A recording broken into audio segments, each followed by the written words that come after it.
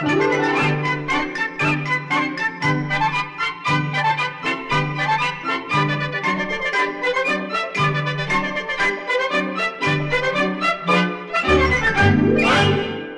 peregrino, con su gran libro debajo del brazo, atraviesa una calleja del pueblo apoyándose en su bastón, con el que va apartando a los cerdos y a las gallinas que no le dejan pasar. Delante de la puerta de una casa, una niña en puntillas está mirando por el ojo de la cerradura.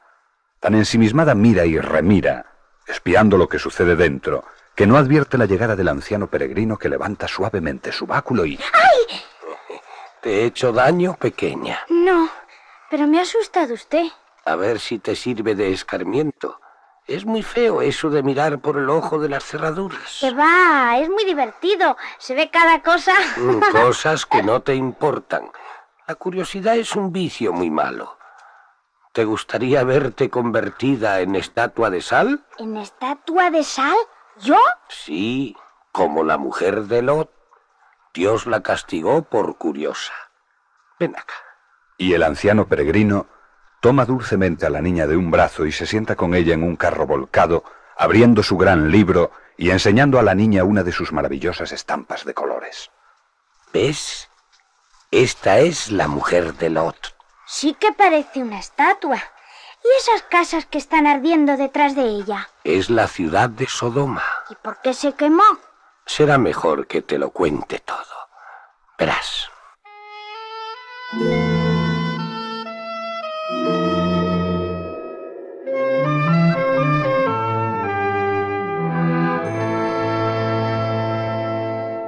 Cuando los tres ángeles del Señor vinieron a anunciar a Abraham que Sara, su esposa, a pesar de sus años, le daría un hijo. Un hijo que se llamó Isaac al venir al mundo un año después. Pues bien, cuando aquellos tres ángeles anunciaron a Abraham tan gozosa nueva, él, lleno de agradecimiento hacia ellos, les dio de comer. ¿Y si eran ángeles, cómo comían? Eran ángeles, pero vinieron a visitarle en figura humana como tres viajeros que van de camino. Y Abraham, después de darles de comer y de agasajarles, les fue acompañando durante un buen trecho. Y uno de los caminantes, hablando en nombre de Dios, dijo a Abraham, No es posible que te oculte lo que voy a ejecutar, Abraham. Las maldades de Sodoma y de Gomorra aumentan más y más, y la gravedad de sus pecados ha subido hasta mí. Quiero ir y ver si sus obras igualan al clamor que ha llegado a mis oídos, para saber si es así o no lo es. Y los otros dos ángeles partieron para Sodoma, mientras el primero se quedó a solas con Abraham, que aprovechó para suplicar al Señor que le hablaba por boca de aquel enviado. Por ventura castigarás al justo con el pecador. Si se hallaren cincuenta justos en la ciudad de Sodoma, no la perdonarás por amor de esos cincuenta, para que no perezca el justo con el pecador. Si encontrare cincuenta justos en Sodoma, perdonaré por amor de ellos a todo el pueblo. Ya que he empezado, hablaré de nuevo a mi Señor, aunque yo sea polvo y ceniza. ¿Qué sucederá si faltaren cinco justos al número de cincuenta? ¿Destruirás la ciudad toda entera? No la destruiré si hallase en ella cuarenta y cinco. Y si solamente se encontraren en ella cuarenta, ¿qué harás? Por amor de esos cuarenta no castigaré a la ciudad. Suplícote, Señor, que no te enojes si aún te sigo hablando. Pero, ¿qué harás si se hallaren allí treinta solamente? Si se hallaren allí treinta, no la castigaré. Ya que he empezado una vez, seguiré hablando a mi Señor. ¿Y si allí se hallaren solo veinte? Por amor de estos veinte, no la destruiré. Ruégote, Señor, que no te irrites si te pregunto por última vez. ¿Y si se hallaren allí tan solo diez? Por amor de estos diez, no destruiré la ciudad. Y el Señor, en la figura del ángel, desapareció. Y Abraham se volvió a su casa mientras los otros dos ángeles entraban en la ciudad de Sodoma.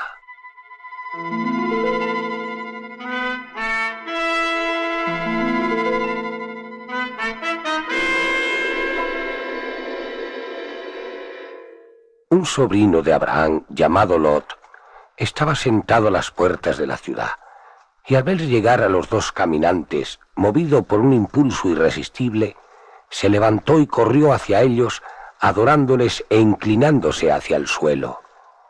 Ruego, señores, que vengáis a la casa de vuestro siervo y os hospedéis en ella. Lavaréis vuestros pies y de madrugada proseguiréis vuestro viaje. No, nos quedaremos a descansar en la plaza. Eso haremos. Gracias de todos modos por tu hospitalidad. Venid a mi casa, os lo suplico. Sería para mí un gran honor. Por otra parte, las gentes de esta ciudad son perversas y pasan la noche en continua embriaguez, en danzas paganas, riñas y alborotos. Si os vieran en la plaza, tratarían de arrastraros a su torbellino. En mi casa estaréis seguros. Venid, os lo suplico. Vamos, pues. Guíanos hasta ella.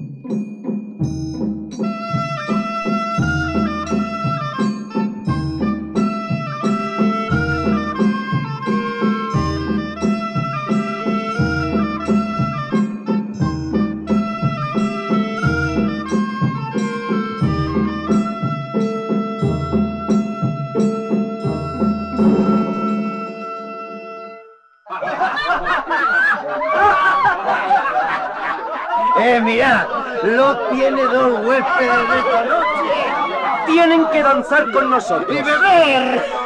¡Eh, Lot! Luego iremos a buscarlos. ¡Abrid paso!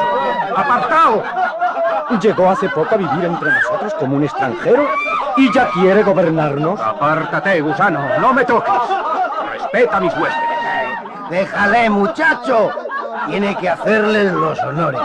Pero después del banquete iremos todos a buscarles para que beban con nosotros, ¿eh? Sí, sí.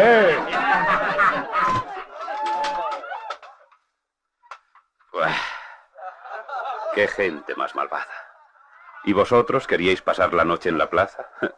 ¿No os lo advertí? Entrad. Aquí estáis a cubierto de sus asechanzas. Sentaos. Yo mismo os lavaré los pies y mi esposa y mis dos hijas os dispondrán un banquete como corresponde a tan excelsos huéspedes. Y excelsos serán en verdad, porque estos dos ángeles en figura humana y el primero que con ellos se apareció a Abraham, representaban al Señor en sus tres divinas personas. Y cuando habían terminado de cenar y se disponían a retirarse a los lechos que Lot había mandado prepararles, Padre, ¿Qué ocurre, hija mía? nuestra casa está rodeada. Sí, padre. Todo el pueblo de Sodoma se está congregando aquí. Madre, tengo miedo. ¿Qué querrán de nosotros? No es difícil adivinarlo. ¡Lot! ¡Eh, Lot! ¿Dónde están los dos extranjeros que entraron al anochecer en tu casa? ¡Sácalos fuera! ¡Que queremos verle la cara! ¡No te escondas, que será peor para ti! Si no abres, echaremos la puerta abajo. Suéltame, esposa mía. ¿Qué vas a hacer, Lot? Salir y hablarles.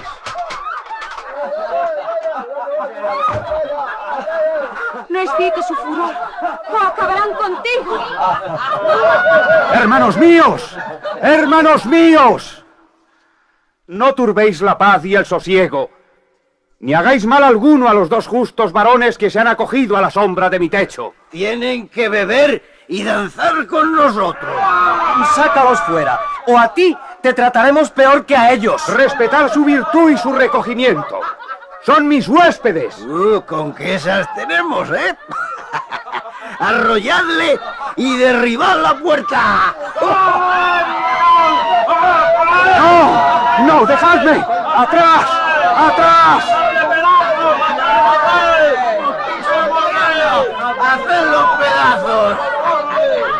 A punto estaba Lot de sucumbir al bárbaro ataque cuando los dos huéspedes salieron, alargaron la mano, metieron a Lot dentro y cerraron otra vez la puerta.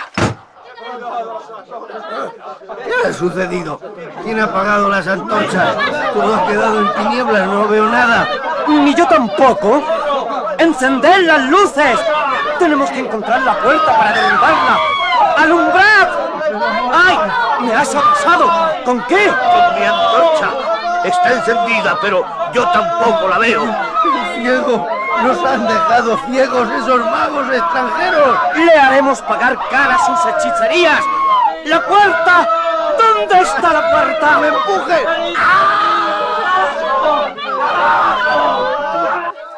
La multitud, víctima de una repentina ceguera, chocaba y se golpeaba como las olas de una tempestad, y nadie fue capaz de atinar más con la puerta de la casa de Lot. Allí, mientras tanto, los ángeles hablaban a su anfitrión. ¿Tienes aquí a todos los tuyos? Aquí tengo a mi mujer y a mis dos hijas. ¿Por qué? ¿A nadie más quiere salvar? Salvar. ¿Por qué? Porque vamos a arrasar este lugar. El clamor de las maldades de estos pueblos ha subido a la presencia del Señor. Y Él nos ha mandado a exterminarlos. Además de tu mujer y tus dos hijas, ¿a nadie más quiere salvar? A todos los tuyos sácales de esta ciudad porque vamos a destruirla. Mis hijas están a punto de casarse. Lot, ve y avisa a los que van a ser sus esposos, para que ellos también se salven. Corre, padre mío, que mi amado no muera. Advierte al mío también, que venga a mi lado para que nuestras bodas puedan celebrarse. Apresúrate, que las horas de Sodoma y Gomorra están contadas.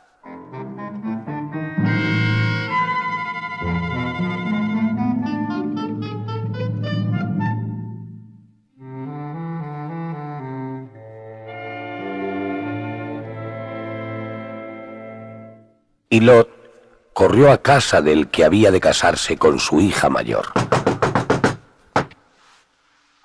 ¿Quién llama? ¡Abre! ¡Soy yo, Lot! ¡Tu futuro suegro! Ah, ¿Qué se te ofrece a estas horas, mi querido Lot? Entra. No, ven conmigo. No hay tiempo que perder. Sal inmediatamente de Sodoma porque el Señor va a asolar esta ciudad. ¿Qué dices? ¿Pretendes burlarte de mí o has bebido demasiado? Vuelve a tu casa y déjame descansar. Mañana nos veremos. ¡No! ¡Mañana será demasiado tarde!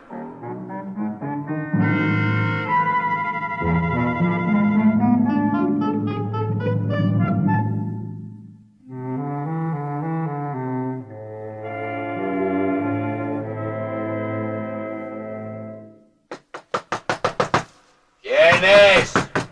¡Soy yo! ¡Lot! ¡Tu futuro suegro! Levántate y sal de este lugar, porque el Señor va a destruir la ciudad. ¿Qué dices? ¿Te estás chanceando? ¡Baja y ábreme la puerta! Desde esta ventana te oigo muy bien. Tendría que vestirme y estoy acostado. ¿Qué quieres? Que salgas inmediatamente y vengas conmigo a casa. ¿Le sucede algo a tu hija? No, pero nos puede suceder a todos, si no huimos cuanto antes de Sodoma. Los ángeles del Señor van a arrasarla. es el castigo que merece esta ciudad maldita. Pero tú estás soñando. Vuelve a tu lecho, buen anciano. Duerme y deja dormir a los demás.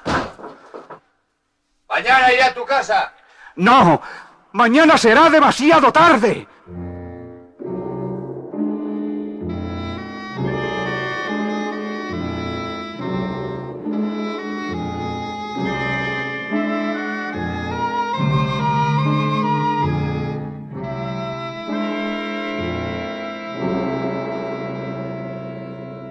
Y triste y cabizbajo, Lot regresó a su casa. Y al despuntar el alba, los ángeles le despertaron. Apresúrate. Toma a tu mujer y a tus dos hijas y huye con ellas. No sea que tú también perezcas entre las ruinas de esta ciudad malvada. Vamos, mujer. No te entretengas. Hemos de marcharnos ya. Solo empaquetar nuestros enseres y nuestros mantos. Lo más indispensable. Ayudadme, hijas. Sí, madre. Sí, madre. La hora se acerca, vamos. Si queréis salvaros, venid con nosotros.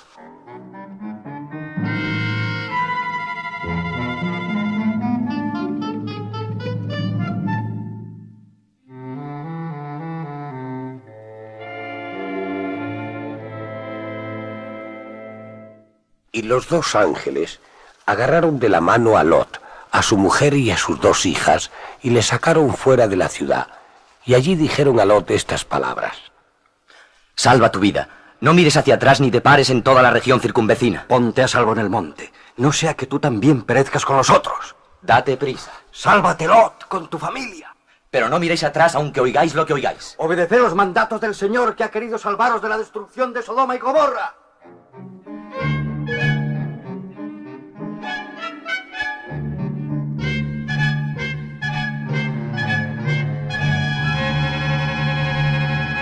Cuando Lot, su mujer y sus dos hijas estaban lejos,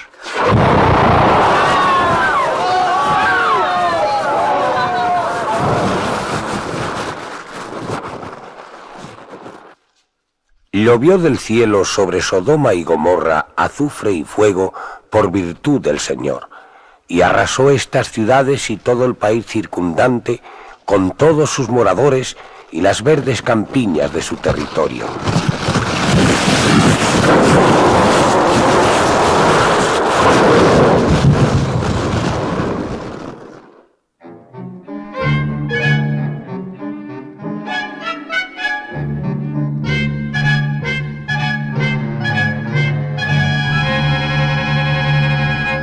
Y la mujer de Lot, no pudiendo reprimir su malsana curiosidad, se volvió a mirar el montón de humeantes pavesas que habían quedado en el lugar donde antes estaban las ciudades malditas, y por haber desobedecido el mandato del Señor, quedó convertida en estatua de sal.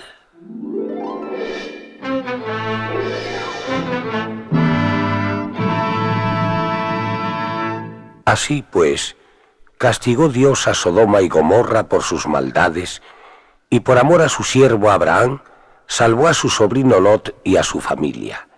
Si bien la mujer de aquel justo varón fue también castigada por curiosa, como tú, pequeña. vaya, vaya, no llores. Ya sé, ya sé que no volverás a mirar a través de las cerraduras. Pero, ¿qué te pasa? Estás asustada. ¿Por qué tiemblas? No, me estaré convirtiendo yo también en estatua de sal. No, no. ¿Por qué?